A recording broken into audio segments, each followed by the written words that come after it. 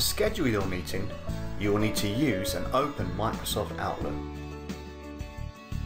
Select New Items and then Meeting, and then click Lync Meeting. You will then need to add the Lync Meeting Room as a participant in order to run a Lync meeting on your Smart Room system. Add all those participants of your planned meeting in the normal way in Microsoft Outlook.